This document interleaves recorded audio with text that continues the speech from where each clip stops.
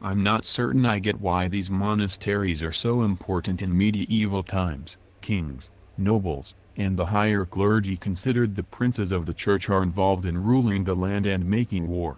The peasants are doing most of the work on a day-to-day basis. Lug, tote, plant, and harvest. So, there is a lot more to society than I've just described. Who's doing those things? I guess I don't know. Who is? Yes. Who is?